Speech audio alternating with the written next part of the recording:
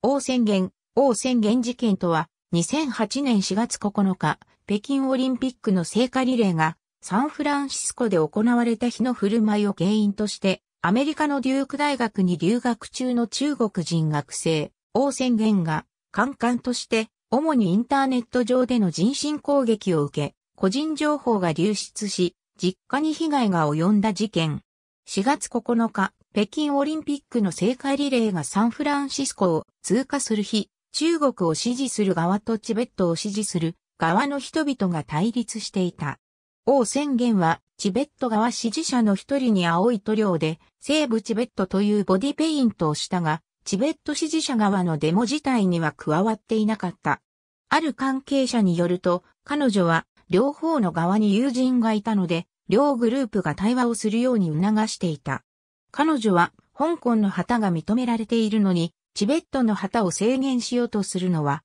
おかしいという、一般の家人にとっては、受け入れが大切を述べて、中国政府の主張を支持する人々と論争になった。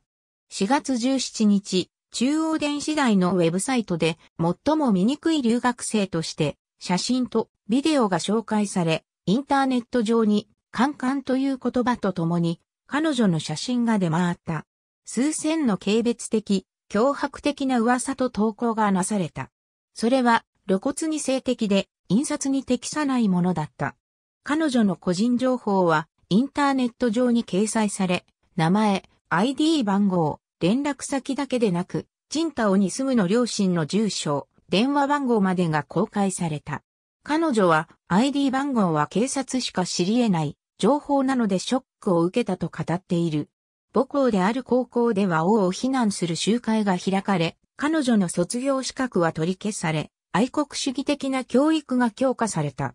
次に、両親の家の前にバケツ一杯分の排泄物が巻かれている写真がインターネットに掲載された。彼女の両親は安全上の理由から家を放棄し、現在の居場所は不明だが、王は唯一 E メールで連絡を取っている。彼女には大学の配慮によって警察の警護がついている。王はイタリア語、フランス語、ドイツ語などの語学を学習し、アラビア語を学習するつもりであり、30歳になるまでに中国語と英語以外に10カ国語をマスターすることが目標である。また、クラスメートのチベット人と出会い、彼らが中国化によってチベット語も学べなくなったことを知ったので、彼らと分かち合うためにチベット語を学びたがっている。事件後、彼女は中国人のインターネットユーザーに向けてメッセージを発表した。そこで彼女は、逸望早々、両を独利ということわざを引用し、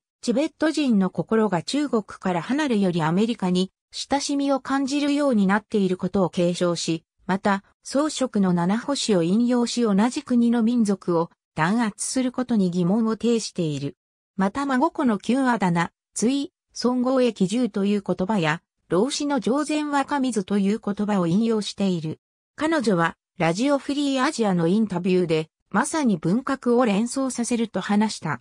また、両親が出したとされる謝罪文について他の誰かが書いた可能性が高いことを示唆した。ニューヨークタイムズ記者、ニコラス・クリストフは、盲目的、狂信的なイデオロギー信奉者の学生たちがボートとなってのインテギの球団は、プロレタリア文化大革命の色合いがあると述べた。ありがとうございます。